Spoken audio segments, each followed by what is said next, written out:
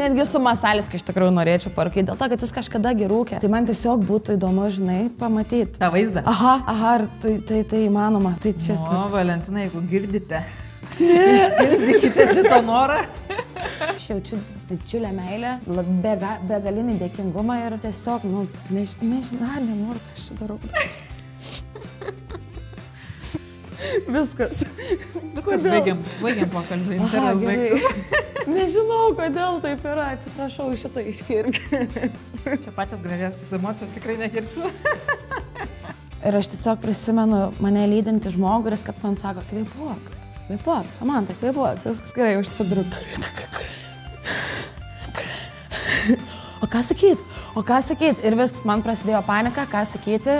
Aš jau matau tas prierašas, žinai, prie pavadinimo aktorė, kuris šoka už pinigus parūkyti su Valentinu Masalskiu. Ta prasme. Ne, tai jeigu ką kaltim čia mane, čia aš. Nuogas Aš- už pakelius. Man atrodo, kad jaučiu ant liežuvio galo.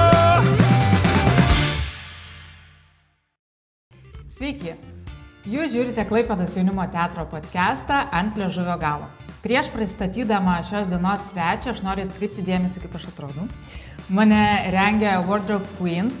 Taip pat e, norėčiau priminti, kad mes esame ir Spotify. Tai tiems, kas, kam patogu, kviečiu pasiekti e, ant liežuvio galo. Norėčiau paprašyti ir parekomenduoti, pafollowinti, palaikinti, pasidalinti, kad šita žinia apie teatro įdomius žmonės sklistų plačiau. Ir e, aš esu labai laiminga, kad galiu juos kalbinti. Tai šiandien turiu labai ypatingą e, viešnę, e, šviežiai iškeptą auksinio scenos kryžiaus laureatę. E, ji yra Klaipados dramos teatro aktorė ir Taško teatro aktorė Samanta Pinaitytė. Labas, Samanta. Labas. Nesuklydau niekur.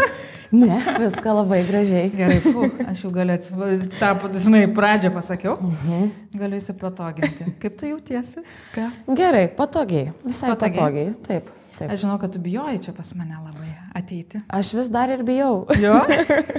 Nebijok, viskas čia gerai. Mes paplėpėsim, pašnekėsim, gal ką nors nuveiksim. Čia toks bairis. Galim. Gerai. Aš žinau, kad čia yra veikimų, aš mačiau porą jau. Kad klaidų. yra? Kad veikia čia, Ai, žinai, kažką mačiau. veikiam, taip, ane? taip. Gerai, To gerai. irgi bijau. Išgerkim kavos, aš irgi dabar už, ką tik užsikrėčiau baimę. Klausyk, aš noriu visų pirma tavęs paklausti, kaip tu jautiesi mm, dabar su visu šituo dėmesiu, nes tu tikrai turėtum e, susilaukti jo labai daug po kryžiaus, nu, turiu omeny dėmesį ir žiniasklaidos, nes kiek aš žinau ar ne, e, ir čia esu, aš esu įmerkus koją, kad tu atsidursi ir ant viršelio žurnalo ir taip toliau ir taip toliau. Tai to dėmesio tikrai netrūksta. Kaip tu dabar jautiesi? Keistai. Neįprastai, ta prasme, nu, jo, man tai yra neįprasta. Nėra tekę anksčiau tie gauti, bet nežinau, atrodo, kaip greitai ir staigiai, žinai, įvyko tas kryžius, nutiko. Nukryžiavo. Nukryžiavo jo, bet man atrodo, kad lygiai taip pat kažkaip staigiai ir viskas ir baigės, žinai, kaip tokia banga užėjo ir, ir jinai praeina. Vat, netgi vat, savaitgalį buvau su, su kolegomis susitikus ir ateina mane sveikina ir man tikrai pirmi keli sveikinimai buvo. O kas? Su kuo Su kuo? Jo, ka, ka.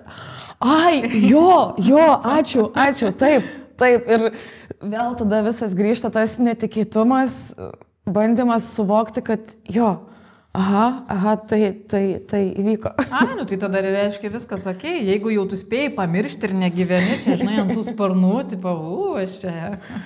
Du, jo, bet... Hmm.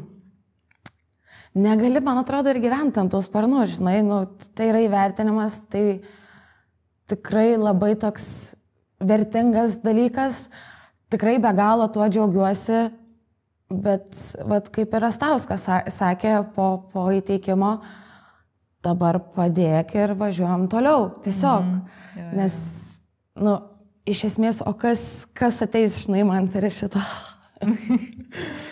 Tai kažkaip taip. Nu gerai, gerai. Tai čia po to dar paliesim. E, dabar gal, nu, tam warm-upui, apšilimui. Mhm. Apie, apie rekomendaciją. Jeigu žiūrėjai bent vieną podcastą, aš visada prašau parekomenduoti, ką per pastarąjį mėnesį kažką e, skaitėjai, matėjai, žiūrėjai, klausėjai, patyrėjai iš meno srities. Mhm. Ir dėl to prašau, nes dažniausiai menininkai, va šitie scenos žmonės, jie gyvena kažkokią temą, kažkuo tuo metu domisi ir visai įdomu sužinoti, ir, ir ar kažką naujo, ar kažką kaip tik ten klasikinio ir taip toliau. Mhm.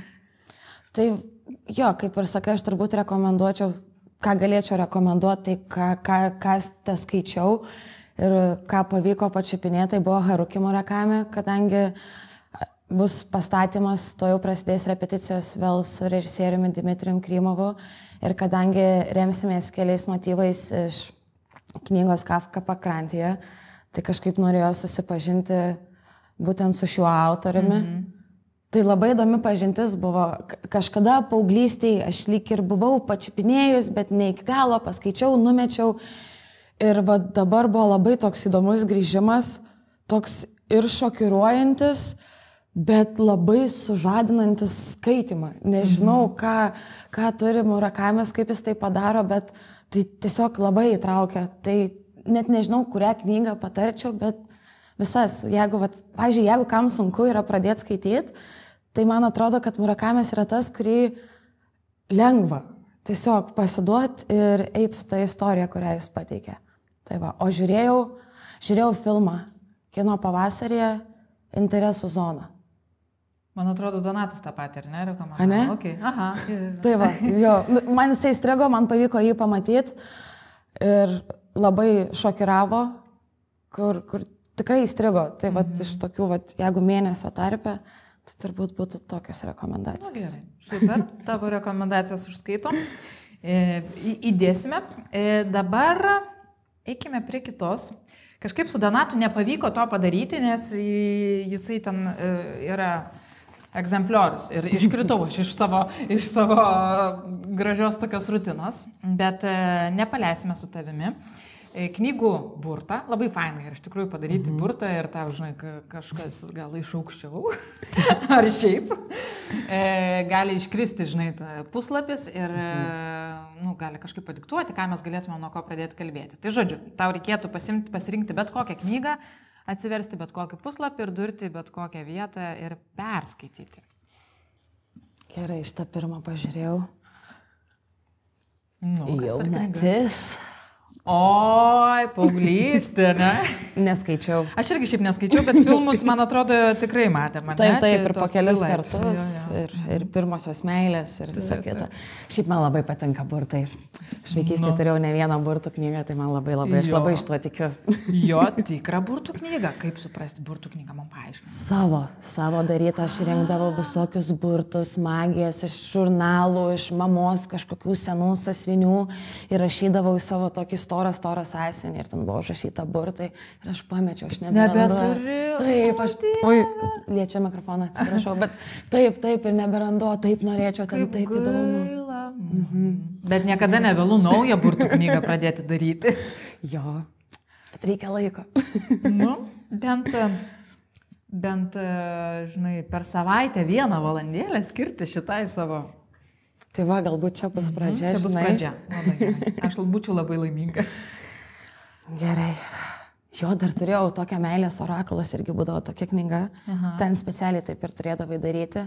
Tris kartus e, kartoti sakinį, Aha. kai kurį gali atsakyti taip arba ne ir tada va taip. Ir tipo knyga gali to pasakyti atsakymą. Mhm. Wow. Tai aš taip panašiai irgi gal darysiu. Gerai. O užduosi klausimą kokį? Užduok. Bet savo negaliu. Ar nu, reikia garsiai? Ir mes norėtumėm išgirsti.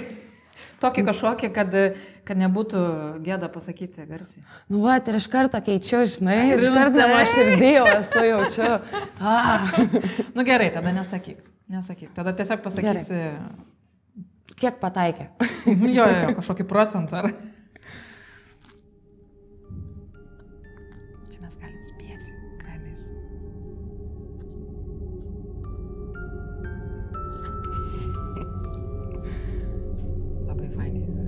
raganiški dalykai labai Oho! Nu. Nemeluoju, tikrai. Oho, nice. Ar tau į temą buvo į klausimą? Ką tu uždavai? Visai ir tema, žinai, žiūrint, kaip aš priimu ir kaip mat perverčiu savo. Kaip interpretuoji? Jo, nes iš tikrųjų, kas po to, po to rašo, gal šiek tiek ir baugina. Paskui sekė trumpų muštinių garsai, į juos įsiterpdavo oi ir ei. Šitą neskaičiau gerai. Šitą nebuvo. Tai taip mus ir paliksi tokius e, Oho. nesužinojusius, ką tu uždavėjai, ne? Ne, iš tikrųjų galvoju apie repeticijas, galvoju apie naują procesą, kaip prasidės, kaip, kaip, kaip bus.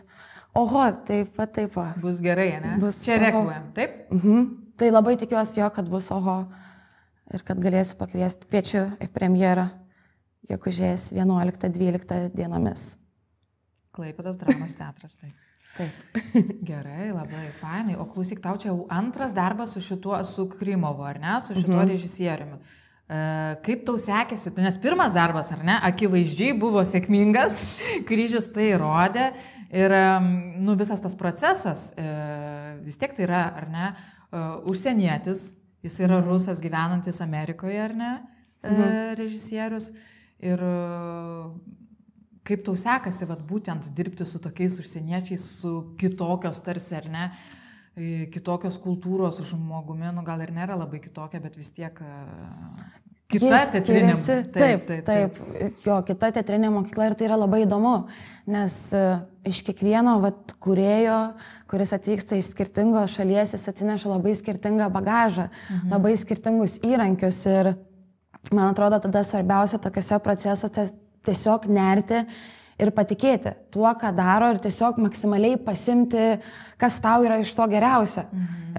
Atsirinkti irgi galbūt ne viskas tiks, bet, bet jo iki šiol, kiek teko dirbti su režisieriu, turbūt iš kiekvieno galėčiau įvardinti, ką išsinešiau ir ką iki šiol tikrai naudoju. O, o jeigu kalbant apie, apie Krymovą, tai turbūt labiausiai, ką pasėmiau, tai, tai žaidimą Mhm. kaip jisai žaidžia teatrą, mhm. kaip, jisai, kaip jis pats to tik ir kaip užkrečia kitą, mhm. koks kitas yra svarbus, jis tokias, nežinau, darbas su juo, man atrodo, priminė tokias esencijas, man labai svarbius dalykus, kuriuos aš ir per, per studijas supratau, kurie man labai ir pas Masaliskį patiko, mhm. kurie kažkaip imponavo ir vad, dirbant su Krymovu irgi toks buvo labai didžiulis, žinai, gūsis ir įkvėpimas tokios, kad jo, yra tas, tas teatras, kuriuo aš, kuriuo aš tikiu, kuris atrodo man teisingas. Tai vad, jo, tas tikėjimas, tas žaidimas, kaip, kaip jis vaikiškai gali žaisti, kaip gali numesti, vėl pridėti, į aplinkybės įmesti. Mhm. Tiesiog. O, Smagu. nu, čia toks iš karto gal provokuojantis, neprovokuojantis klausimas, apie ką yra iš tikrųjų fragmentas? Man atrodo, kad labai apie daugą. Nu, čia taip gal mhm. kvailai atsakau, bet man atrodo, kiekvienas žmogus perneždamas kažkaip per save, skaitydamas per save gali ir įsinešti skirtingus dalykus, kas man atrodo bus labai artimai susipažinęs su Čechovu, su jo kūryba, labai daug jo galės pamatyti. Mhm. Ir ne tik personažus iš trijų seserų, bet galbūt ir iš vyšnių sodo arba žuvėdros. Tai yra įvairiausių momentų, ženklų, simbolių arba iš to paties gyvenimo.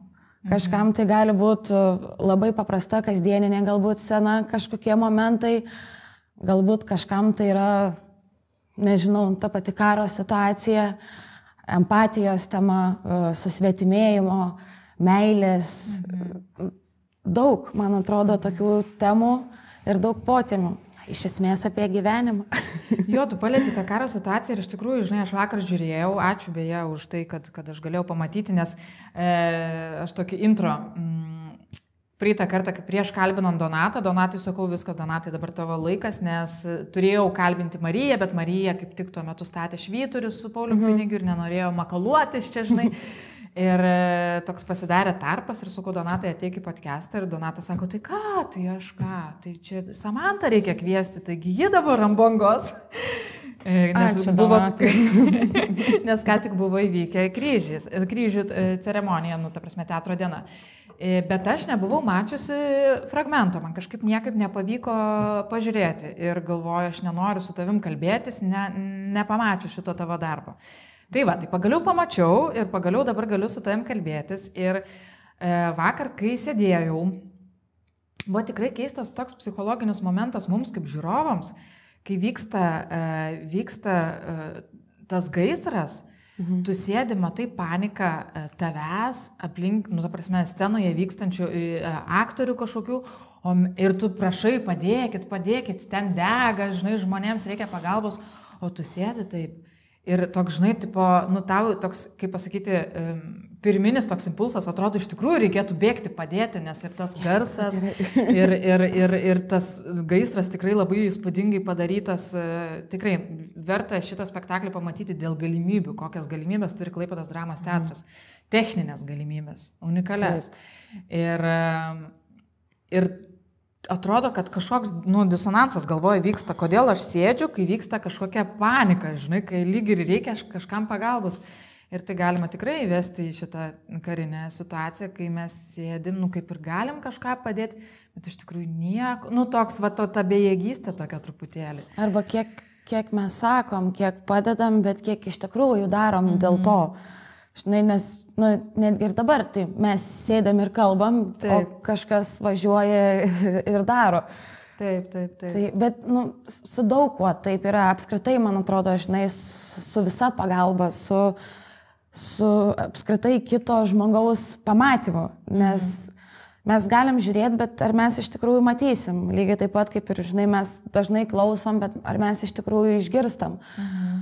Tos, tos empatijos, man atrodo, trūkumas, nežinau, man šiaip atrodo, kad tai yra kažkokia aktuali ir tokia skaudi tema man šiomis dienomis, galbūt aš tai pastebiu, nežinau, bet nu, man jaučiasi toks susvetimėjimas, galbūt man tas ir internetas tai padarė, žinai, kad mes per, per tenai labai daug bendraujam, bet, bet man norisi va, to labiau to tikro ryšio su žmogum, o bet, bet kiek iš tikrųjų mes tikri, o kiek kuriam kažkokį vaizdą apie save.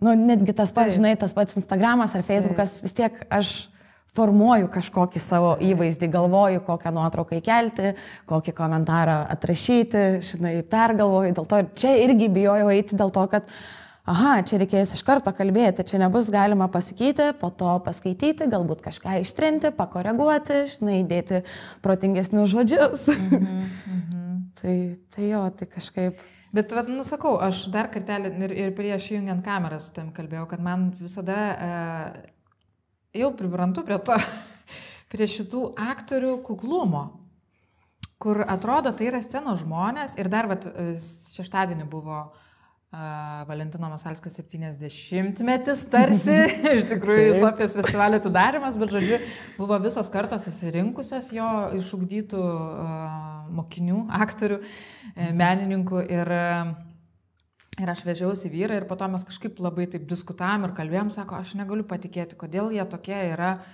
kuklus. Kur, ta prasme, tu po to su to tai žmonėmis kalbės, atrodo, kad, žinai, scenos žmogus, jis turėtų būti visada gyvenime, štai toks, žinai. Ir e, iš tikrųjų taip nėra. Ir gal čia yra nauja karta, e, su Donatu kalbėjau ir klausiau to klausimą, gal čia Masalskio yra mokiniai tokie. E, jisai sakė, kad ne, kaip tu galvoji. Kodėl vat, yra to tokio kuklumo, paprastumo ir e, tikro žmogiškumo? Nu čia lyg tai būtų blogai, taip suformulavau klausimą. Nežinau, gal apie, apie kitus aktorius kažkaip mažai ir galiu pasakyti, žinai, Aha. kaip nesu asmeniškai labai daug ar bendravus, ar, žinai, tai irgi kažkoks mano galbūt susidarytas vaizdas yra apie juos, bet iš to, ką matau mūsų aplinkoje, tai, na, tiesiog vis tiek, kai tu stoji į studijas, tu, man atrodo, svarbiausia yra šiaip ne, ne kad aš stoju ten į aktorinį, į vaidybą, bet pas kokį aš profesorių stoju, mhm. kas bus mano dėstytas, kas bus tas mano vedlys. Mhm. Ir man atrodo, visi tie, kurie mes stojom pas Masalskį, mes labai užtikrintai žinojom, kad pas jį nori, norim. Jis tiek, jis vienokiu ar kitokiu atveju yra autoritetas. Nes bent jau man tai buvo tikrai jo teatras, man buvo teisingiausias teatras, kokį aš galiu rasti, kokį aš galiu pamatyti. Dėl to mane tai vedė pas jį ir tada automatiškai, vat, kai jis patampa tokiu autoritetu, tau ir jo tos visos vat, savybės pasidaro labai gražios ir kažkaip tu irgi nori taip. Bet kodėl, ta Nežinau. prasme, žinai, tu buvai mokinė, ar ne? E, Kodėl pas jį, iš kur, iš kur tu sužinojai, nu, žinai, ar tu turėjai kažkokį kontaktą, buvai sutikus jį, turiu menį, e, kuo taip traukia? Aš Būtent lankiau teatro studiją ir neprisimenu, vyko kažkoks festivalis telšiuose Aha. ir mes vat, su teatro studija važiavom ir kaip tik pasirodė vat, Masaliskio kursas, dabartinis Klaipėdos jaunimo teatras, man atrodo, buvo Kopečios gal spektaklis, o gal Gaidos.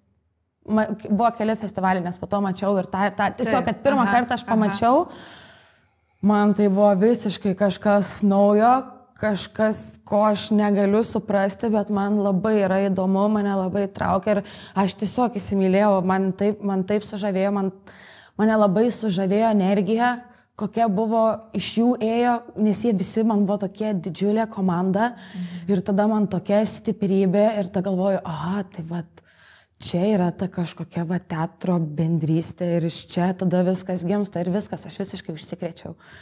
Tiesiog beprotiškai užsikrėčiau ir aišku, aš kai, kai man reikėjo stoti, Masalskis dar, dar nerinko, nes dar nebuvo baigęs jaunimo teatras, turėjau stoti į Vilnių ir tada irgi buvo ar stoti ar nestoti, ar čia imti laisvus metus, nes visgi noriu pas tą Masalskį, bet ar jisai rinks, kaip čia bus.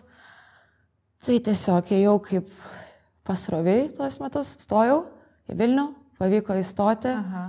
Bet e, su teatru susiję ar be? Taip, aš Aha. stojau irgi į Lietuvos muzikos ir, ir teatro akademiją, Aha. į, į vaidybos studijas, bet pastudijau, man atrodo, pusę metų ir sužinojau, kad renka Valentinas Masaliskis, atėjo gandai ir aš nebepaleidau. ir aš tiesiog poliau tada skambinti, ieškoti numerio jo, dar tada Vaigauskaitės katedros vedėjos. Ar čia įmanoma, ar man būtų įmanoma perstoti, kokia galimybė. Ir viskas. Tai tu tokia čia- buvai motivuota, net metai Vilnių dėl... dėl... Man atrodo, ten labai viskas gerai susidėliojo ir su Vilnium. Nežinau, man atrodo, mes ten vienas kitą metėm. Ir Vilnius mane yra šį. Jo. mes neįsimylėjom vienas kito.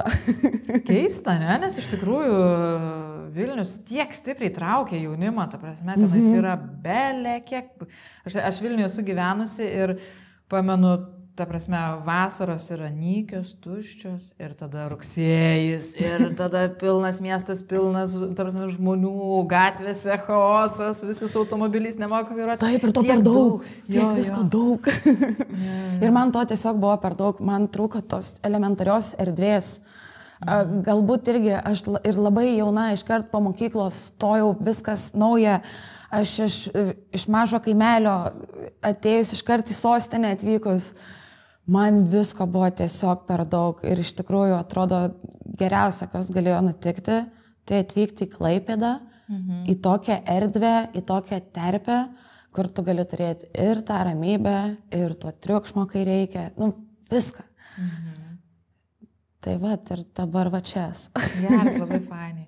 Esi Klaipados ambasadorė, žinai, Klaipados miesto, kur, jo, jo, kur gali motivuoti, atvažiuokit čia, čia yra daug erdvės kūrybai. Taip, taip, taip, aš tikrai, tikrai labai kviečiu Klaipėdą visus. Dėl to aš labai džiaugiuosi, kurie drį- išdrįsta į Vilnių atvažiuoti, bet man jis dar gal per didelis. Nežinau. Nu, bet žinok, aš, aš tave suprantu, aš man irgi Vilnius nelipo. Aš gyvenau ten keturis metus ir man puikiai sekėsi, aš, ta prasme, ir radio, ir, ir, ir, ir televizijoje dirbau, žinai, ir ten studijavau mm. ir viską, bet e, aš žinau, kad aš kai pabaigsiu tą magistrą, aš grįšiu čia.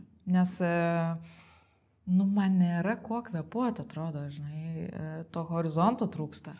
To, Vat, vat. Jo, jo, jo. Tos galimybės pabėgti, nes visi Vilniuje savaitgaliais bėga į trakus, į kokią kernavę, prie žaliųjų žirų, prie, žinai, nu, nuspėjamos kelios vietos, žinai. Ir mm. jeigu tu neturi sodybos privačios, tai tada yra nuspėjamos kelios vietos, kur važiuoja, žinai. Visi. Ir visi vis tiek ten Jo, susitinka. ir ten kamščiai tada pasidaro, žinai, nori pabėgioti e, Vingio parke, kamštis prie Vingio parko, nu, va tokio lygio, žinai, yra masu, masuoti ten, žinai, tai, mhm. tai suprantu tave. Tai gerai, tai tu įstojai, studijavai ir tada taško teatras. Jūs iš tikrųjų, aš kaip suprantu, nedaug te baigė, ar ne? Ar jūs nubirėjote, nes aš dar šiandien atsidariau taško teatro trupę ir, mhm. nu, nesuskaičiau tiksliai kiek, bet ten dešimt, daugiau trupučiuką. Taip, mūsų dešimt, mhm. dabar bijau sumeluoti, mhm. bet taip, mūsų dešimt. Mūsų baigė galbūt penkiolika, mhm. irgi bijau sumeluoti, apsimeluoti. Mhm. bet jo, ir, ir, ir liko dešimt, bet dabar vėl prisijung, labai džiaugiuosi, nes iš tikrųjų prisijungė ir nauji žmonės, nauji veidai, man atrodo, jie labai puikiai įsilieja, mhm. labai irgi yra empatiški, atviri ir Taip. atvirai eina į, į procesą ir tai, tai labai, labai žavu ir man atrodo labai labai praturtina taško teatrą. Ta trečioji karta reikia čia Mhm, paminėti. taip, Ne trečioji. Maselskio karta, kurie um, tiek ir prie Klaipados jaunimo teatro darbų dirba ir, ir, ir daro dalykus, tiek ir prie taško teatro. Tai Mhm. labai faina. E, gerai, bet tu nesi vien tik tai tu e, nuo 21 metų Klaipados dramos teatre, ar ne? Man labai Mhm. įdomu iš tikrųjų tas momentas, kai tave, ar tave pakvietė, ar ne, tu pradėjai dirbti ir tu, nu, ta prasme, kaip oficialių trupės narė, kaip tave priėmė tie senbuviai, nes ten yra visokio amžiaus e, trupės žmonių, mhm. aktorių. Kaip tu ten jautiesi, nes iš taško teatro, iš, mm, tu vienintelė, ar ne? Masalskio tenais dar yra ir, ir Karolina, nu, mhm. Masalskio mokinių turi ir Karolina Kontenytė, ir Artūras Lepiochinas, ar ne? Taip, taip. O iš taško, aš kaip suprantu, tu vienintelė, ar ne? Taip, mhm. taip. Uh, man galbūt pasisekė, aš labai geru laiku tenai atėjau, kas man padėjo, man atrodo, daug lengviau įsilieti, tai buvo Agatos Dudos Grač workshopai. Aha. Kada jinai darė workshopus, man atrodo, tai buvo teatrimo festivalis. E, Man pavyko užsiregistruoti, pavyko juos papult. Ten buvo gal dviejų savaičių vat, e, kūrybinės dirbtuvės ir po tų kūrybinių dirbtuvių e, buvo planai, kad jinai statys spektaklį ir jinai tiesiog vat, per tas kūrybinės dirbtuvės, kadangi pamatė mane, pamatė, kaip aš dirbu ir vat, pasisekė, kad jinai pakvietė dirbti spektaklyje. Tai buvo, pamenu, didžiulė baimė, o ne, bet režisierė tai pakvietė, bet ar, o teatras ar priims. bet uh, priėmė tada irgi į tą kūrybinį procesą, E, pradėjom kurti spektaklį. Tarp Lenos kojų, čia toks trumpintas pavadinimas, nes jis šiaip labai ten il- ilgas yra, A, pagal Michelangelo Caravadžio. Tai jo ir pradėjom statyti tą, tą spektaklį ir vat, tada gavau pakvietimą prieš pat, pat premjerą. Dar pamenu, labai toks keistas momentas buvo, kažkas man vyko, kad aš kažkur turėjau išbėgti, aš kažkur išbėgau greit iš repeticijos, kažką pasimti, matau, kad stovi režisierė, kažką kalba su uh, teatro direktoriumi ir galvoju, kaip čia dar nesmagu, kad jie mato, kad aš čia kažkur išbėgu. Aha. Ir tada grįžtu ir tada direktorius mane pasikviečia pasikalbėti. Kur tu bėgioji? Aha, iš serijos, jo, aš iškart galvoju apie patį blogiausią, kad va, jau, jau, jau kažkas blogai. Jo, ir va tada pakvietė, galbūt nori prisijungti. Mhm. Ir man atrodė, kad ne, negaliu atsisakyti, kad čia yra tikrai didžiulė galimybė man kaip aktoriai tobulėti. Taip. Tiesiog dar daugiau gauti patirties, gauti daugiau skirtingų režisierių, įvairių partnerių, mhm. nes tikrai trupė yra didžiulė, t- 35 galbūt aktoriai. Wow, aha. Taip ir, ir kiekvienas labai skirtingas. Irgi įvairiausias mokyklas skirtingas praėjęs, iš kur irgi gali labai daug pasimt, kas man atrodo irgi labai labai praturtina. Mhm. Tai va, tai, tai ir va čia grįžtant prie klausimo, kaip man sekėsi įsilieti, mhm.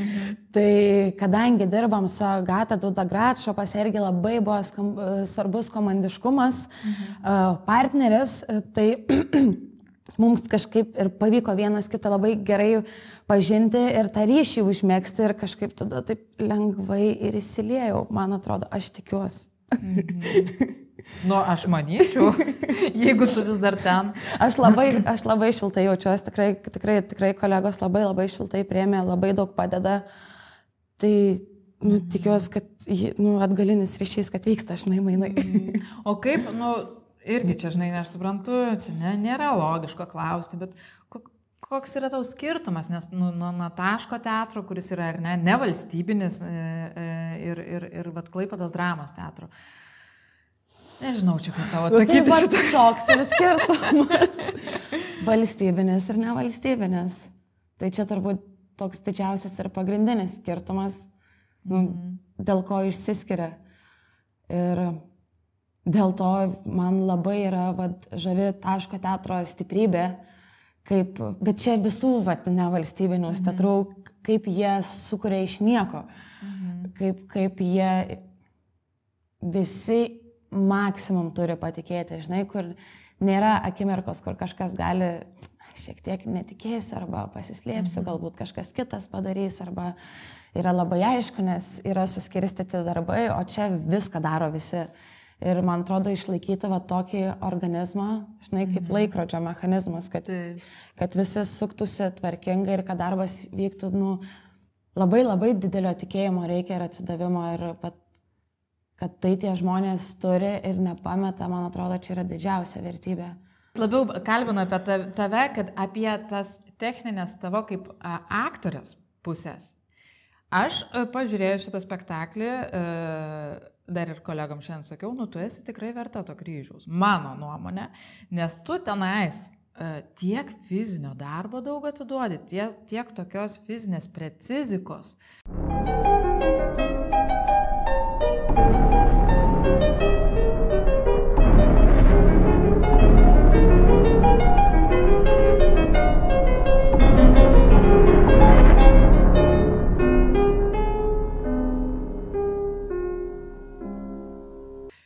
Ant tos lempos, žinai, visą laiką tuose dūmuose, kiti aktoriai eina, vat taip į tą, o tu visiškai tuose dūmuose, ten, žinai, nu, ta prasme, tiek e, fizinio, sunkaus darbo, e, praktiškai nuogas kūnas, žinai, tarp tų žiūrovų, e, kėdė, nega- negalima spoilinti, žinai, dar kažkas pažiūrės. Į žiūrovus tiesiog kėdėmis, nu ten daug tokių momentų, kurių, kurie um, Tikiu, kad komisija sužavėjo. Jeigu aš būčiau komisijoje, aš irgi būčiau susižavėjusi, žinai, tavimi. Tai Aš sunku priimti kartais komplimentus, priimsiu kaip komplimentą. Ačiū. Ačiū. Taip, daug darbo reikia įdėti, bet man atrodo, kad nenoriu kažkaip, žinai, išsikelt. Man atrodo, kad daugybė aktorių taip gali, tiesiog ne, ne visur to reikia. Ir mhm. taip gaunas, kad režisierius to paprašo. Tai čia irgi daug tokių, man atrodo, dalykų buvo galbūt netgi netyčia atsiradusių, o galbūt netgi ir tyčia, iš tikrųjų, čia tik režisierius žino. Mhm. Žinai, galbūt man gali atrodyti, kad buvo netyčia, bet jisai gal ir buvo numatęs. Nežinau, bet uh, jo, šitas spektaklis iš tikrųjų privertė mane vėl kitaip pažiūrėti į sportą, į pasiruošimą. Uh, nors aš visada judėjau, uh, man šokis visada labai Mhm. kažkaip uh, daug davė. Čia gal irgi buvo toks nuo studijų dalykas. Turbūt irgi nepaslaptis, kad Masaliskio studentai labai gerai dainuoja. taip. Tai aš ne. Rimtai? Aš taip nesakyčiau, aš tikrai nes, nesu Kaip taip gerai pavyko dainuojant. įstoti tada? Reikia mokėti slėpti, šitą jau mokina Sinkevičiūtė. Mhm. aš už tai esu jai labai dėkinga. Tai Aš noriu pas ją pasimokinti. ten, lab... Aš tikrai nemoku, wow. bet aš noriu išmokti slėpti, kad nemoku dainuoti. ten yra, žinok, irgi savi pratimai, nenoriu čia irgi išduoti, bet čia Sinkevičiūtė galėtų daugiau papasakoti. Tai va, tai aš supratau, kad na, nemoku aš tikrai taip dainuoti ir galbūt nebeišmoksiu, nors ir labai norėčiau. Mhm. Tai pagalvojau, kad gal man tada reikia šokti. Mhm. Nors, nu, nes aš irgi prieš tai mokykloje, man šokis nebuvo toks labai kažkoks artimas ir labai toks imponuojantis dalykas. Ir vat, per studijas aš galvoju, gerai, o aš šoksiu. Ir irgi galbūt kažkaip pasisekė, nežinau, likimas lėmė, susidėliojo taip, kad labai gerus gavom pedagogus, labai gerus šokio specialistus. Uh, Aušra Krasuskaitė, kuri tikrai atvėrė dar daug, daugybę durų man toliau tobulėti tame judesėje, tai jo jis visada imponavo ir kažkaip pradedant repetuoti fragmentą, turbūt režisierius irgi pastebėjo, kad tas šokis nėra man toks svetimas ir taip lipdės, lipdės, lipdės, Bet pamenu, buvo kertinė repeticija, kada mes, na, dėlioji vis tiek statai ten po gabaliuką ir kada viską apjungiam ir pabandom pažiūrėti, kaip einas. Buvo šakės, jeigu atvirai, aš galvojau, kad aš nuolipsiu. Daug fizinio, ne? aš baigiau bėgti, tai tiesiog buvo stresas mano kūnui, nes turbūt po studijų, po senos judesio paskaitų nebuvau gavus šitie krūvio. Pradėjau du, suprantu, kad aš visa raudona, net režisierius, pamenu, kur sustabdė, Samanta, viskas gerai, ne, tau viskas gerai. Ir, jo, jo, viskas gerai. Ir aš suprantu, kad nei velnio negerai. Ir tada supratau, kad, aha, reikia kažką daryti. Tai, tai dabar tiesiog reikia daugiau judėti, reikia daugiau Tai ką darai? treniruotis. Tai dabar sportuoju, dabar nuoširdžiai sportuoju, aišku, ne kiekvieną dieną. Sporto salė? Ne, turiu savo pasidarius asmeninę sporto salę. tai va, bet. Namuose? Taip, turiu vieną kambarį, kuris buvo toks sandėlys, tada buvo svečių kambarys, dabar toks pusiau svečių, pusiau mano sporto salė. Gerai. tai va, tai dabar judu ten. Jo, ne kiekvieną dieną tikrai paslystu, būna, kad leidžiu savo palisėti, bet, bet daug aktyviau po fragmento žiūriu į sportą, judesi ir jaučias, labai gali pasijausti greitai, kada, žinai, porą dienų leidai kūnui palisėti ir trečią dieną jis jau toks. Gerai, o dabar apie tą šokį. Tu užsiminė ir aš iš tikrųjų, kai domėjausi tavo um, kūrybinę biografiją, tai tu Šeiko, uh, šo, šeiko šokio teatre uh, esi sukūrusi ne, nemažai vaidmenų iš tikrųjų. Nu, ta prasme, tenais tose uh, ekskursijose, mhm. ar ne, ir, ir, ir, ir spektaklių kelis. Tai, nu, tai reiškia, tau gerai seka šokti, žinai, ta prasme. Arba gerai vaidinu, čia- gerai Gerai apsimetu. čia nusprendai. Kažką reikėjo daryti. nežinau, nežinau, man labai sunku save vertinti. Ai, man šiaip pasakiau net vertinti, aš to žodžio irgi kaip nemėgstu. Labai jo kratausi. Nu, vat, man ir čia ateinant, aš iš karto tada irgi tau rašiau, kad, žinai, iš karto pradėjau irgi poliau save vertinti, nežinau, ką kalbėsiu, va dabar irgi nežinau, kaip aš čia šoku, nežinau, kaip aš atrodau. Nu, čia tas kuklumas, tai čia. Nežinau, bet tai erzina, bet aš galvoju, kaip reiks su šituo dirbti, bet vat, labai sunku. Kažkodėl. Taip bėgu nuo to vertinimo, tikrai mokyklai mane tai labiausiai užknisdavo, mane labiausiai užknisdavo tas mokytojų pasakymas, kad tavo aštuntukas yra kito visai kitoks pažymys, aš niekada tada nesupratau tos vertinimo sistemos. Uh, studijose lygiai tas pats, tu supranti, kad nu, mūsų specialybėje vertin, vertinimo sistema yra tokia absurdiška, bet jinai vis tiek yra. Taip.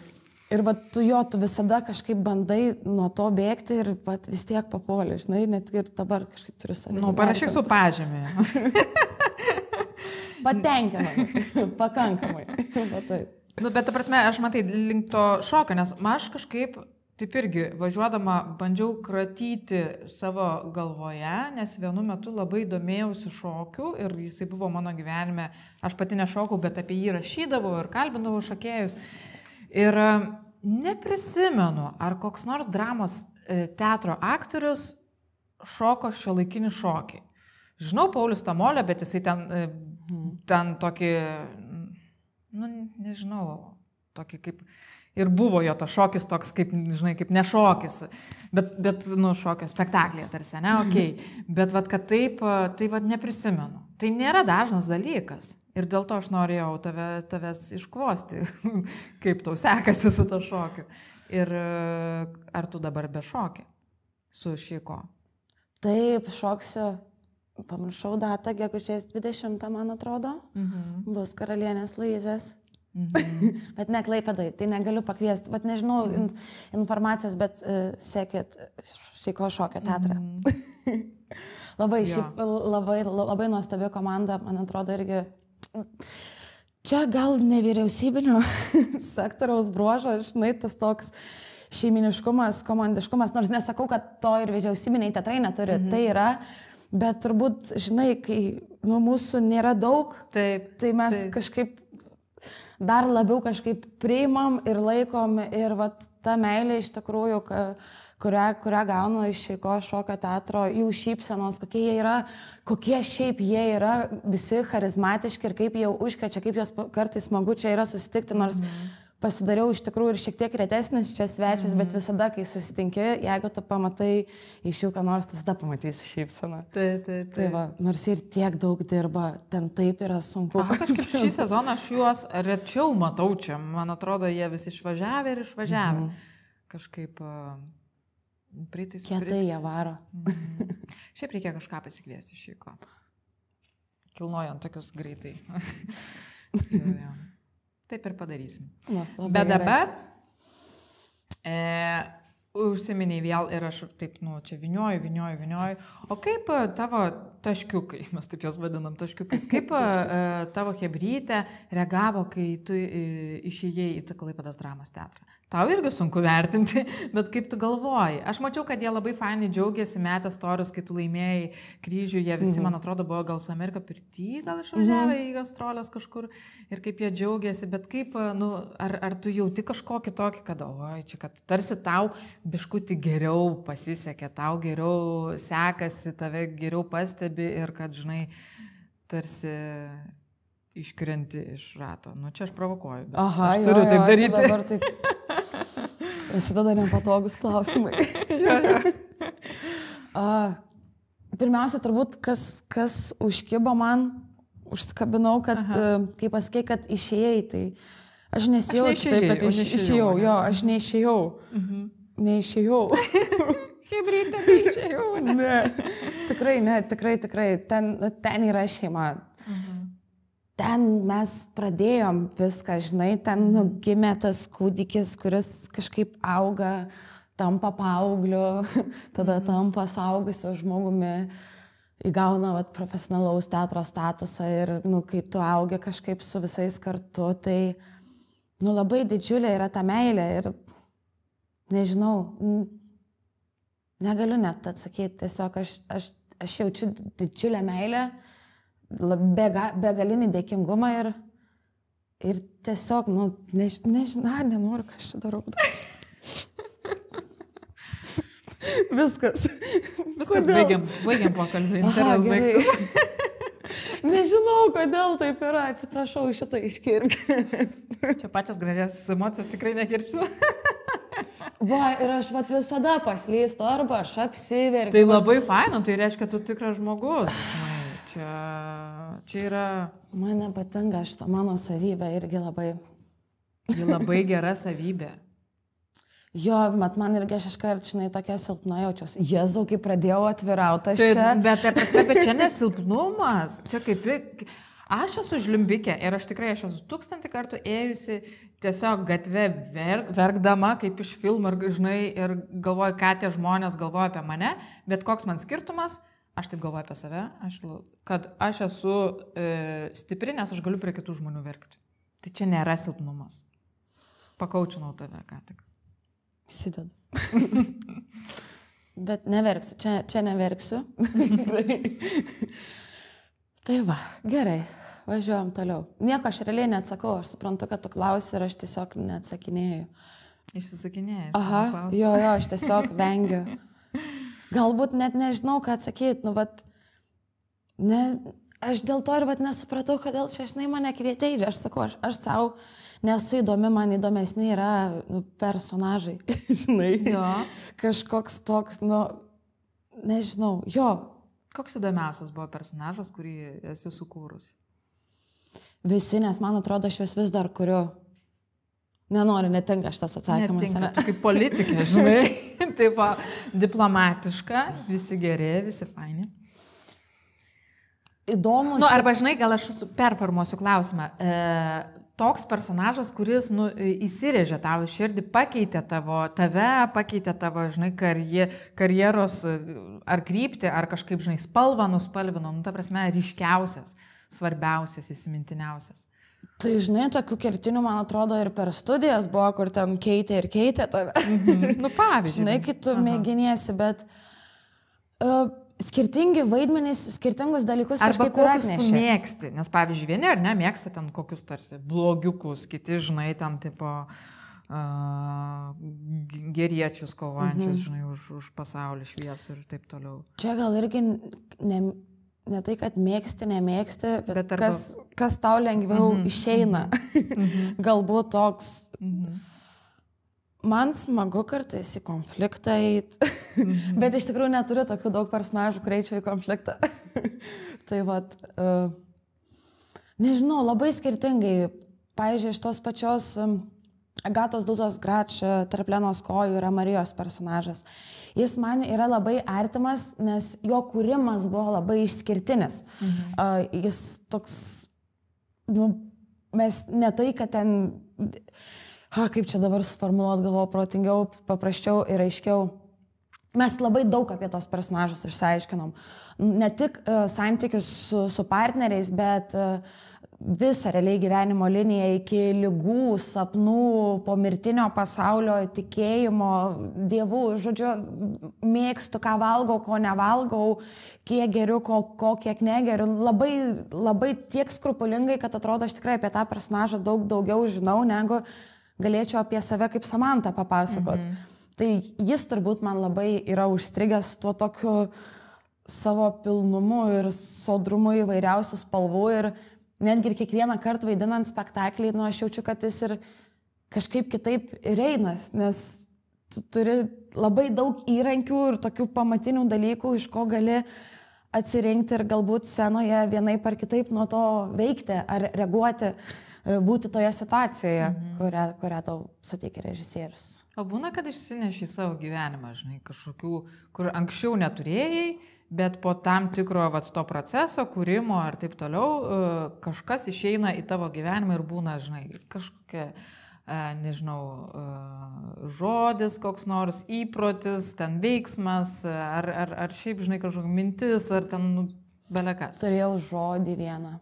Iš sniego karalienės buvau išsinešus žodį žinokite. Nežinau kodėl. E, Netgi nėra ten taip, e, ten Virginijos Rimkaitės tekstas, jinai adaptavo, parašė Sniego karalienė ir ten tikrai nėra tiek daug to žodžio žinokite, bet kažkas man įvyko per repeticijas, kad jis man taip užsifiksavo ir yra viena scena, mhm. kur ten labai gerą žaidimą būtų galima žaisti, žinai, stebint, stebint spektaklį ir skaičiuojant, kiek, Kiek kartų pasakai, žinokite? Mhm. Tai tu tokia valdinga, aš nemačiau to spektaklio. Bet būtent ne, kad ten būna, ne, žinokite, ne, žinokite, nenoriu, žinokite, ne, A. žinokite, gal ne. Žinokite, aš jau eisiu ir jau, jau dabar jau pradėjau net save gaudyti, jau man kaip keiksmažodis tai skamba. Aha, aha. ir jo, ir po to proceso netgi, žinau, žinau. Žinokite. ir jau, jau trumpina. Tai po to proceso irgi jo buvo, kad gyvenime irgi toks. Bet žinai, o žinot, o tas atsirado, kuris irgi visiškai yra nelogiškas, kai tu žmog, žmogaus klausia, o tu žinai, kad ne, jis nežino, bloga formuluoti. Bet jo, vat, vat buvo toks užstrigęs.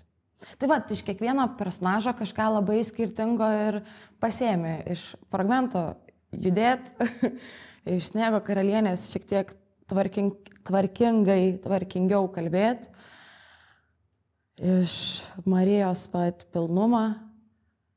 Turėjau vieną personažą, Samantha arba Skotas, du iš Los Los Los, tai ten tiesiog buvimas scenoje pasėmiau. Nu, tokie labai skirtingi dalykai, žinai, tai dėl to ir labai sunku lyginti, kuris mylimiausias, kuris ne, nes, nes jie labai skirtingai mane ir paveikė, ir kažkaip praturtino, ar, ar kažką pridėjo, ar kažką atėmė.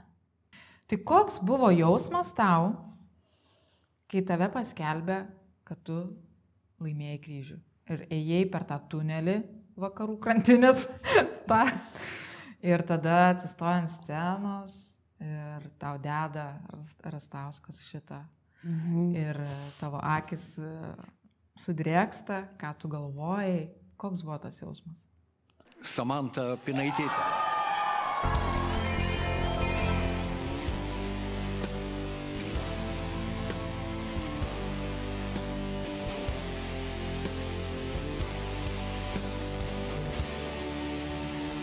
Kosminės. Na, nuoširdžiai tai tikrai kosminės. Nežinojau ir nesupratau nei kaip jaustis, nei kaip reaguoti.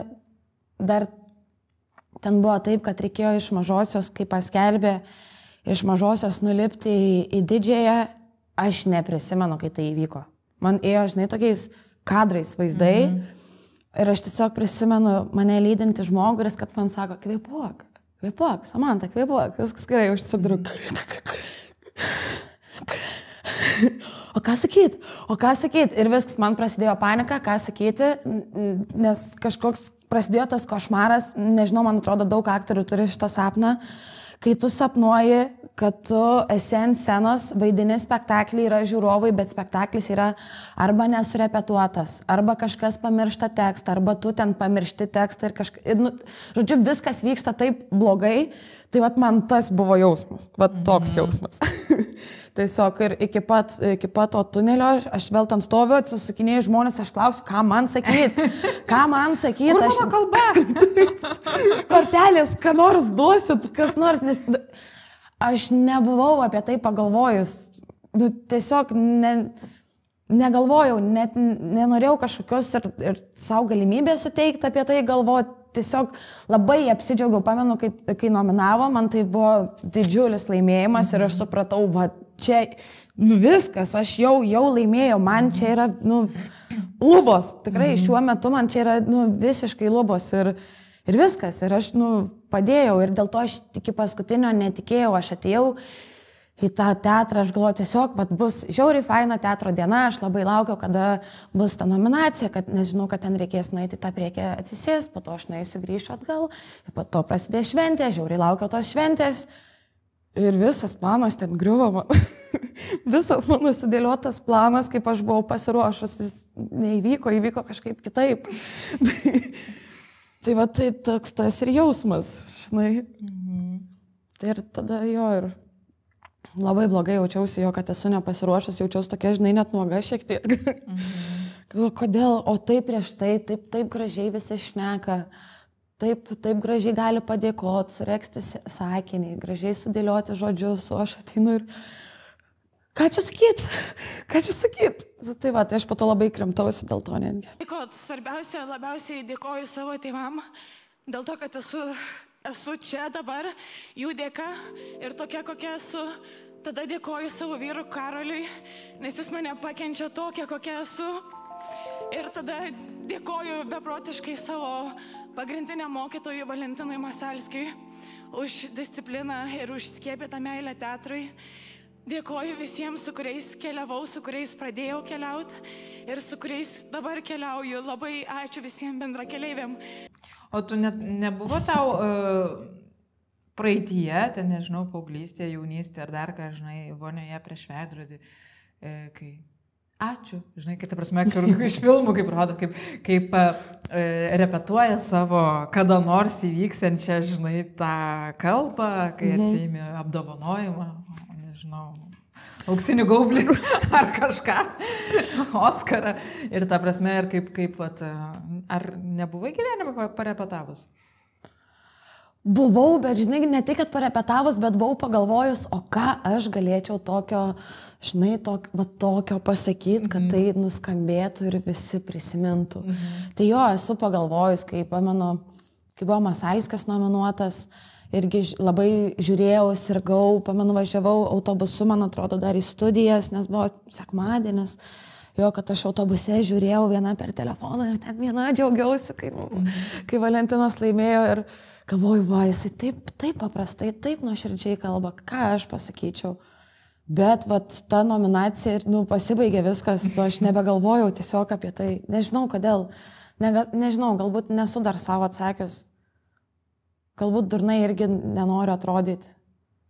Na nu, čia irgi dabar tokia savęs analizė vėl prasideda. Faktas taip, tai yra labai svarbu, su tuo ateina tikrai nu, didžiulis džiaugsmas. Bet kaip irgi daugam sakiau, mm, kas ir sveikino, kad va tas mano laimėjimas iš tikrųjų, kas buvo, nu va tie sveikinimai, kai, mhm. kai aš supratau, kiek yra aplinkui žmonių, uh, kurie, kurie palaiko, kurie eina kartu, koja kojon, kurie mhm. labai džiaugiasi, nu man va čia buvo didžiausia dovana, nu kad, nes nu man teatre tikrai, man svarbiausia yra ta bendrystė, kad mes mhm. būtume visi kartu ir kad visi kartu kažkaip eitume dėl to vieno tikslo, dėl to spektaklio, dėl, dėl temos, dėl to kažko, kas išeina žiūrovams, ką, ką, mes, ką mes duodam. Ir, nu, ir va, aš tą bendrystę labai smarkiai kažkaip pajutau. Tai va, čia ir buvo turbūt tas didžiausias laimėjimas. O žiūrėk, o kitas, va, šitą norėjau paklausti ir, ir, ir būčiau ir pamiršus.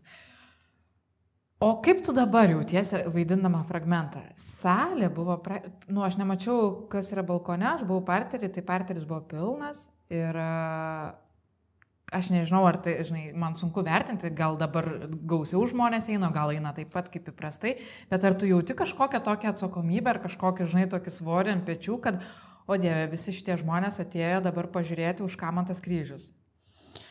Ar tu net nepagalvoji, čia aš dabar įkiš, įkišiu tau Ne, mintį galvą? Sorry. ne, buvau pagalvojęs, gal ne tai, bet um, Facebook'e tiesiog užmačiau, uh, kad reklamuoja fragmentą ir aprašymę pamačiau eilutę, kad Samantha Penaitėtė, o šį vaidmenį ir man toks, man net piktas akimirką parėjo toks, kodėl čia dabar reikia tą rašyti, nu, nes tada jo atrodo, kad primeta kažkokią atsakomybę. Mhm. Bet tada supratau, kad ne, jeigu ir primeta kažkas atsakomybę, tai pati aš savo. Mhm. Nes, nu, lygiai tai, tas pats, kai, kai ateina kažkoks ir tavo autoritetas pažiūrėti, žinai, kai tu vaidini kažkoks aktorius, kuris, mhm. kurį tu labai tikrai myli ir gerbi, nu, tu nori kažkaip prieš jį kuo geriau padaryti, kad, nu, kažkaip mhm. nenori jo nuvilt, bet, nu, jeigu tu apie tai galvosi, tai nieko neišėjai scenoje padaryti. Tai tada nusimeti, uždarai ir eini. Mhm. Nu ir tai svarbiausia, nu, man, aš nežinau, bet man tai labiausiai ir padeda teatre veikti. Nu, tas kitas uh, situacija, šiuo, šiuo atveju fragmente viskas, kas vyksta aplinkui. Nes nu, tai nėra kažkas, kas aplink mane, tai yra ta visa aplinka ir tai mane veikia. Tai kai aš turiu atidaryti langą arba kai turiu pas kažką nueiti, kažką pakviesti, pašaukti, tie veiksmai mane veda į priekį. Vat kažkaip taip. Vėl čia vedu, vedu, Tai ne, aš net Beje, vakar žinok, buvo Masalskis atėjęs pažiūrėti, ar tu žinai? Taip. Matei, ar ne? Mhm. Kai tu prasyriai per žmonės ir tu praktiškai priešais jį sustoji. Mhm. Koks buvo jausmas, irgi man įdomu. Ir tai nebuvo specialiai, žinai, Aha. aš nežinojau, kur jisai sėdė, žinojau, kad jisai ateis. Mes su juo, su juo kalbėjom, aš e, jo laukiau, man tikrai jo irgi ateimas buvo labai toks svarbus, žinai, vis tiek mokytojas ateina, o kaip čia nenuvilta irgi.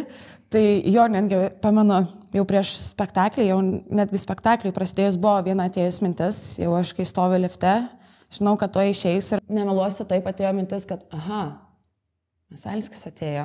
Hm. Ir tai iškart buvo viskas. Negalvoju, eini daryti veiksmo. Nes jeigu aš pradėsiu galvoti, kad atėjo Masalskis ar dar kažkas, ar apskritai, šiaip Masalskis yra lygiai toks pat žiūrovas, kaip ir visi kiti žiūrovai. Čia, žinai, gal dabar Taip. aš durnai nuskambėsiu, kad aš jį taip kažkaip čia bandau iškelti, žinai, arba susvarbinti. Bet iš esmės, nu, ta, tokia atsakomybė, kokią aš jaučiu prieš Masalskį, aš turiu jausti ir jaučiu prieš kiekvieną žiūrovą. Taip. Nes tikslas yra tas kiekvienas žiūrovas. Tai, tai jo, tai va su tą mintim iš karto buvo nubraukta ir eita tolin. Tai va. O kaip prisiriai žmo, tarp žmonių minioje iki jo. Tai va tada ir pamačiau, kur jisai sėdi. Ir labai jokingai, ten irgi kažkokia magija vyksta iš tikrųjų tame spektaklyje. Su tuo, va, ta vieta aš visada, nu visada kažkaip pavyksta papulti prie, prie tokių asmeny, asmenybių. Gal Aha. taip pasakysiu. Nu, nežinau. pavyzdžiui. Pavyzdžiui, vieną kartą tikrai nemačiau, bet aš papuoliau prie moters visos apsirengusios baltai baltai. Jis buvo su baltu kostiumėliu, labai gražiai atėjus, pasipuošus moteris į teatrą. Aha. Ir aš visą ten suodina murzina ir aš atstoju prie jos, kur jinai tiesiog spindi. Aha. Ir, ir jinai nori man padėti, bet jinai... Nenori liesti. Nenori, kad aš ją paliešiu ir galvoju, kodėl. Tada vieną kartą užnešė prie, buvo vyriškis vienas atėjęs, kuris polė sudantis labai drąsiai mane ant kelių. Ten toks jau buvo, net nežinau, kiek padėti norėjo, žinai, kažkokį. Pradėjo ir tokie kitokie, man jau pustoniai eiti, Aha. bet labai tada gerai ten kolegė viena mane taip išgelbėjo, ne, gana, pelės. tai va, tai va tokie kažkokie va momentai, kada, žinai, nueinu, va, kaip užplaukia, kaip patraukia. tai, Bet aš dar taip, žinai, taip truputėlį taip toliau sėdėjau ir galvoju, o gal jūs taip gudriai paliekate tenais neišparduotas vietas? Ne. Tu eini tiesiog literaliai per žmonės, ne? Kaip vakar vad gavos, kad kažkoks taip gavos takas, kuris ir atvedė į tą tašką. jo, bet pamačiau irgi buvo, kad pamačiau, mhm, tai čia sėdi gerai ir viskas. ir viskas. O ir kitas paskutinis klausimas, tikrai paskutinis, iš to, iš tų rimtesnių. O kaip tau sekasi kūno nuogumas? Nes ten, aš taip galvoju, blemba. Spl... dabar mano šeimoje, aš turiu auginu du berniukus, e, mažamečius, užpakalis yra jokingiausias žodis, tai jie labai juokiasi, tai va dabar, tu plikų užpakaliu ten, žinai, e, po tą sceną variniai, kaip tau tas, ta prasme, gal tu nesureikšmini, nes kūnas, žinai, aktoriai yra... Nepliku. Nu taip, nepliku, bet... e, Nors galima irgi taip sakyti, žinai, ir vėl reklama. Ta prasme, nuogybės visada pradedu. buvo reklama. Visada. Čia man dramos teatras turėtų sumokėti už šitą reklamą. Aš nieko nesakiau. Jeigu ką ne aš kalta. Čia ant ližuvio galvo, čia mes traukiame žodžius. Šis kvies mane ant kilimėlio, sakys, ką tu prišnekėjai. Nieko, nieko. Dar turiu išmokti. Vat irgi mokinuosi. Eina ir mokinuosi. O tai ką jau blogo pasakė? Nieko jau. Nežinau, pamatysiu. Nepamatysiu, tai yra išgirsiu turbūt. Ne, neklausysiu. Neklausysi. Gali būti, kad ne. Tai palauk, tas užpakalis. Mhm. Nu, ar, ar, žinai, yra užduotis ir vykdai, ar, tipo, Taip, taip. Aš manau, kad uh, mūsų aktorių kūnai yra mūsų pagrindiniai instrumentai. Mhm. Čia irgi, žinai, kaip yra tas pasakymas, kad aktorius turi būti ir pianinas, ir pianistas viename. Mhm. Tu visas savo kūno dalis turi ir turi junginėti, žinai, mokėti taip kiekvieną įvaldyti, kad, nu, kad jos tau tarnautų, kad, mhm. tau, kad tau būtų lengva scenoje, bet galbūt visiškai netrodytų, kad tau yra lengva. Tai, tai va, tai tiesiog eini ir darai. Čia gal irgi dabar durnai, va, pasakė, nusireng, durnelė, nusirengi. ir nuėjo. Ne, aš tiesiog vėlgi, aš irgi taip daryčiau. aš tik, ne, čia dabar planu noriu save iš, išteisinti, žinai, taip, nes vėl prisišnekėjau, ne taip, gal kažkas supras. Ir nėra taip, kad pasakė nusirengti ir nusirengiu, nes toks mano darbas. Mhm. Tu tada galėčiau, žinai, visai kitą specialybę įdirbti, jeigu taip galvočiau. Bet e, tai irgi, man atrodo, labai didžiulę įtaką padaro režisierius. Kaip jisai tiki, kam to reikia, kaip tai, kaip, ką tai išteisina ir ką tai, ką tai duoda. Nes kartais galbūt gali ir neduoti ir man kaip aktoriai atrodyti, kad tai nėra būtina, tai galbūt aš tada ir nesutiksiu ir eisiu į diskusiją, o kodėl taip ir ne kitaip. Mhm. Bet čia aš kažkaip labai aiškiai supratau žaidimo taisyklės. Ir Ir kažkaip, ką tai duoda? kad nu viską aš galiu atiduoti. Viską, viską iki paskutinio, man atrodo. Mhm. Žinai, iki to paskutinio kasnio, kaip sako. Mhm. Kokia skrajojanti frazė. Durni klausimai, Hebrytė, kuriuos parašė aktoriai ir kiti kūrybiški žmonės. Pirmas durnas klausimas Samantai. Ką esi pavogusi? Daug ką. Daug ką. Vardink. Aš atsisėdu patogiai ir klausausi. Išpažintis dabar bus. Išpirksiu nuodėmės. Mm, turbūt pirmoji vagystė buvo, man buvo gal penki kokie metai, aš dar į darželį neėjau, man atrodo, aš jau darželį tik paruošiamą. Tai čia buvo prieš darželį, mes turėjom kaimyną, berniuką tokį Martyną.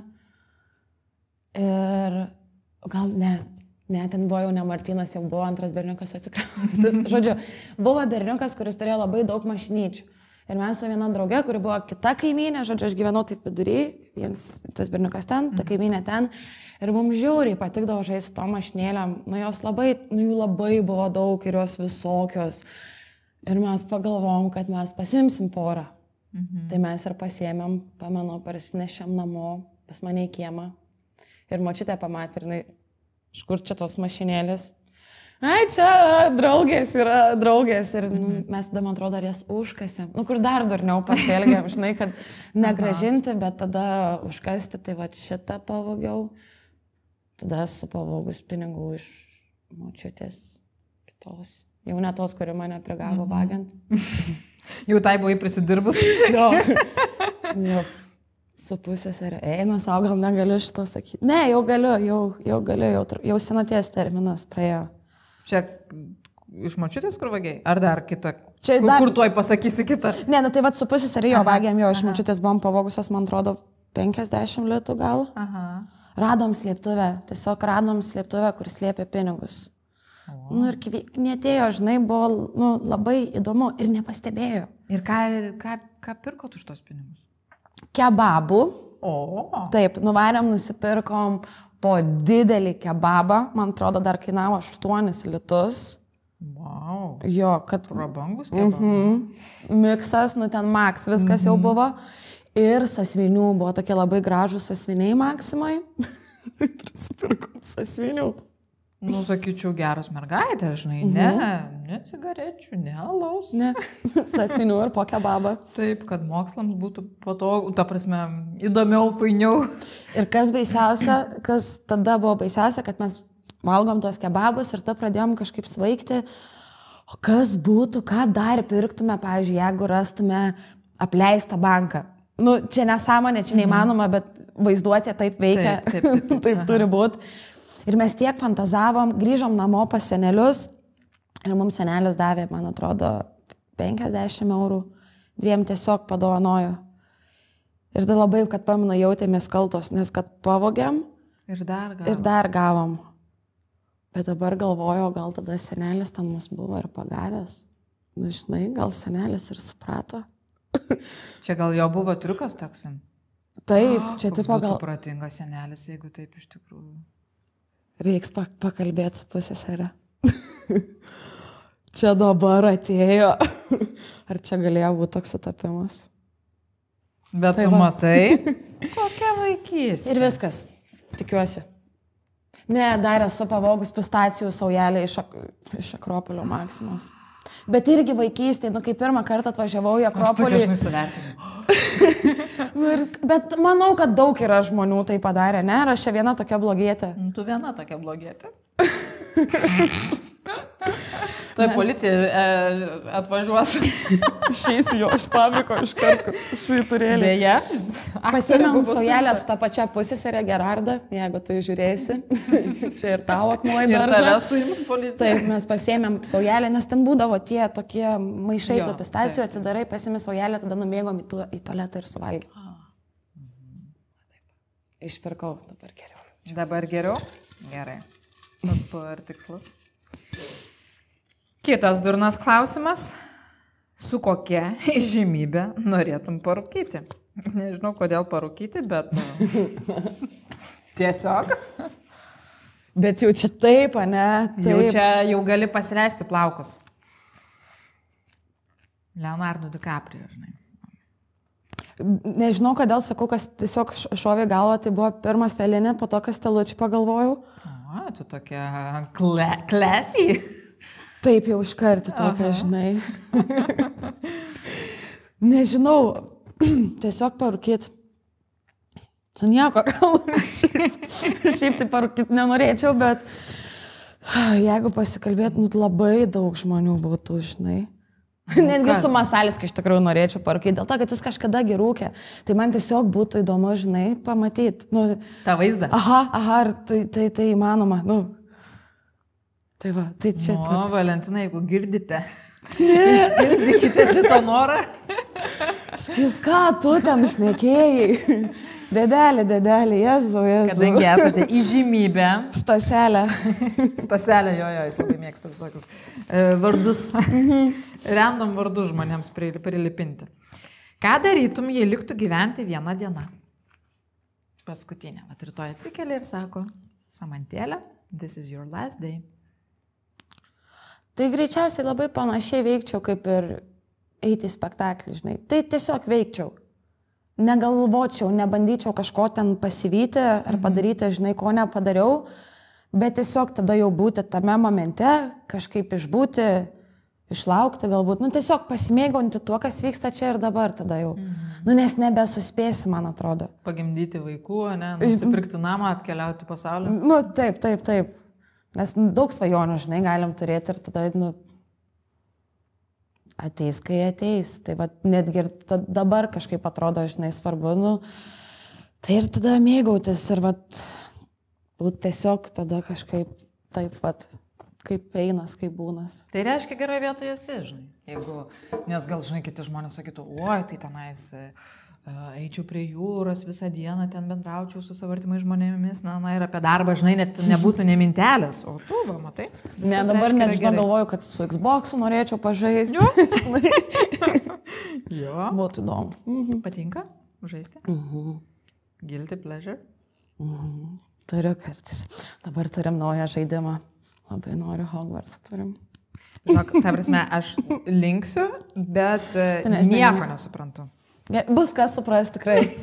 Labai laukiu, jau, jau, jau įsirašėm, jau update irgi įsirašėm, reikėjo labai ilgai laukti. Gal net šiandien pavyks grįžus iš tikrųjų. Bus laiminga diena, ne? Mhm. Nu, super, gerai. Pavadra, kad žodžiu. O, čia klausimas, nu čia yra tai tikrai iš e, rubrikos durni klausimai. Kiek daugiausiai esi uždirbęs iš taros pridavimo? Buvo to, tokia viena iš didesnių, man atrodo, sumų. Galbūt vyras pridavė, ne aš, bet gal ar 14 eurų buvo. O kad jau taip daug. Irgi atrodo, nėra ko girtis. Žinai, čia toks, bet jo, jo, buvo Jeigu tiek. 14 eurų, tai kiek turėjo būti? 140. Nu, man su matematika nėra gerai. 140 kart 10. Nuliai. Mhm. Geras. Žinai, kažko dabar prisiminiau uh, klausimą vieną, kad praleidau. Norėjau apie tai biškai pakalbėti. Kaip jums sekasi su vyru dirbti kartu tą patį darbą? Gerai. ne, uh, hm. jei taip rimtai, tai buvo, kada visiškai nesisekė, tai čia, žinai, turbūt ta pati pradžia.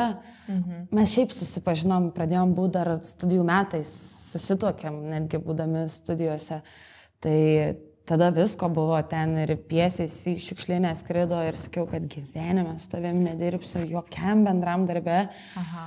Bet dabar man atrodo, kad tai yra pat irgi viena didžiausių dovanų, kokią aš galėjau gauti, kad aš vis, beveik visada turiu labai artimą partnerį. Ir tokį, nu, visiškai betarpišką partnerį, kur aš galėsiu visada laisvai kažkaip paprastai nueiti paklausti, girdė, o kaip ta ir ta vieta. Arba kai man bus sunku, aš galėsiu irgi nueiti pasakyti, man ten yra sunku, ką daryti. Mhm. Kad, nu, mes visada galim vienas kitam padėti. Man man kartais net būna keista girdėti, kad šiaip daug aktorių porų, jie nesineša teatro į namus. Mhm. O man atrodo, kad mes vien teatru gyvenam, nes mes grįžtame, mes aptariam spektaklį, tada pradedam aptarinėti kitus spektaklius, tada jau vos nepradedi savo kurti spektaklius. Man, man atrodo, kad mes nuolatos apie tai išnekam ir... Tu, tu, tu. Su mediena biškiu sunku. Tai žodžiu, tai, tai tikiuosi, kad, kad neprisišnekėsiu čia. Čia bet- gal? Nu, toks būtų bet gerai. Svarbu tikėti. Taip, minties gale. Tai va. Tai jo, tikiuosi, kad tai, žinai, nepasibaigs, kad tai, nu, tai labai praturtina. Tai tikrai toks didžiulis, didžiulis turtas, kuriuo džiaugiuosi. Ir, va, va šituo netgi galiu iš tikrųjų pasigirti, va taip, žinai, man labai fainai, kad mes radom būdą susidirbti, išmokti vienas kito kažkaip klausyti, išgirsti, įsiklausyti kažkaip vienas į kitą. Tiesiog tokia yra betarpiška pagalba, žinai, ir, ir meilė viskame, kame. Tai tokia labai didžiulė stiprybė, bent jau man su tuo ateina. Tai va. Ir šiandien jo gimtadienis, jubiliejus. Taip. 30? Taip, tai visai nedaug. Tikrai nedaug. Tikrai, aš galiu paliudyti. E, nuo 30 viskas tik gerėja, žinokit. Taip. Gerai. Tada ne, nebijosiu tiek laukti. Ne, čia. Su gimtadienio karalė. Deja, kai išeis. Ai, bet ne. Išeis netiek jau ir pavėlavusiai. Tai viskas gerai. Nu ir paskutinis. Už kokią sumą pinigų sušoktum nepažįstamam žmogui viliotinį? Toks kažkoks biški čia apie, taip, nu nekalbėjom apie tai, bet vos ne taip biški į tą pusę buvom. Aš pasistengsiu labai logiškai atsakyti. Uh, šiaip galėčiau netgi tiksliai atsakyti, O, skaičių noriu. Taip. Tiesiog yra tekę turėti filmavimus ir patirtį, nu, kada reikėjo šok viliotinį. Aš ten galbūt ne, buvau susipažinus su scenarijum, galėjau numanyti, Aha. bet kai atėjau į aikštelę, supratau, kad, nu jo, tas viliotinis galbūt atviriau atrodys negu aš maniau, bet, Aha. nu, jau viskas buvo ten ir sutarta, ir sumos. Tai va, tai ir pašokau, nu, ne visi man ten, žinai, buvo pažįstami, nu, operatoriai, operatorius buvo, pamenu, nu, visa komanda, vat, kurie būna už, už tenai. Tai jo, tai jie buvo nauji, žinai, tai netgi, nu, yra ta suma. Verta buvo ta suma tavo šokio? Ar jautėsi, kad, blema, galėjau dar užsiprašyti? Tai čia, žinai, jau čia jau su laiku reikia tą stavkę kažkaip kelt. Kitas viliotinis bus jau bus brangesnis, ar ne? Negaliu irgi taip sakyti, žinai, po to dar pažiūrės, kas nors nekvies. Ne, kaip tik sakys, oh, pagaliau radom aktorę, šoką." kuri tikrai šoks, visos ten spiriojasi, žinai. Kaip blogai, kokią aš čia savo, ką aš čia būsiu priešnekėjus, ta prasme, žiauru. Wow, wow, aš savo tokią čia reklamą pasidarysiu, man atrodo. O klausyko, tai kas ten buvo per... Nes kažkur ir seriale mačiau, kad tu filmavaisi, ar ne? Tai jo, jo, tai čia apie tą serialą, ar ne? Okay. Jo, šiukšlino žmonės. O jį dar galima pažiūrėti, ten jis kažkaip online, aš kaip suprantu, ne? Mhm. Jis, man atrodo, GO3 platformoje vis dar yra. Nu, tai va. Ir Taip, šiukšlino žmonės, režisierė Nesa Kurklėtytė per GO3. Gerai, Samanta, ačiū tau labai. Aš tiesiog noriu tau palinkėti. E, palinkėti ir toliau taip nieko nebijoti, nes tu drąsiai e, šoki. Už pinigus. Nu, žinai, čia nieko nebijoti. Ta prasme, e, nebijok, iš tikrųjų, esi nuostabi, švytinti, įvertinta, kad ir kaip čia dabar, ar ne, visi, e, e, visą laiką aktoriai, kad tie įvertinimai čia tik tai gėlytės. Bet vis tiek tas dėmesys, labai yra faina tave turėti čia Klaipedoje, čia ateik pas mus dažniau kultūros fabriką. Tai, nu, nesakyk, taip irgi atrodys, kad iš vis neįmu. Ne, nemačiau vieną spektaklį vaikišką, kuriame vaidinai. Taip. Taip. Jei. Ir e, Dantenėje ateikit gruo, e, gegužės penktą dieną. va, irgi, taip, mes matėm ir e, mano vaikas penkių metų kažkaip nusprendė, kad reikia valytis dantis, dantis du kartus per dieną jau. Jūs pasiekite. Jo, jūs pasiekite.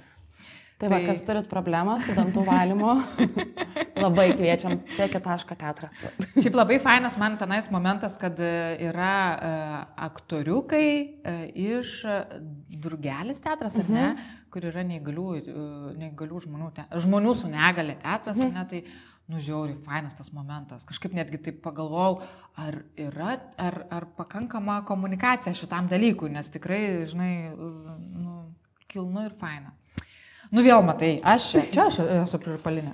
Tai aš norėjaugi palinkėti tau kažko. Tai linkiu vaidmenų, e, linkiu tau uh, Oskarą. ne, iš tikrųjų linkiu e, pa, parūkyti su Valentinu Masalskiu. Kaip blogai skamba. Aš jau matau tos prierašus, žinai, prie pavadinimo aktorė, kuris šoka už pinigus parūkyti su Valentinu Masalskiu. Ta prasme. Ne, tai jeigu ką kaltim, čia mane čia aš. Nuogas aš, už pakelius. Hashtagą, jo, jo. Bus labai, labai žiūrime podcastas. Ne, viskas, viskas, nepirkim. Ačiū. Gerai, ačiū tau labai, didžiausias jums sėkmės, labai labai ačiū, tikrai ačiū, kad pasikvietėt. Bijojau, bet irgi fainai, faina patirtas, didžiausias sėkmės, tiek į priekį. Yeah. Gerai. Ate. Čiau.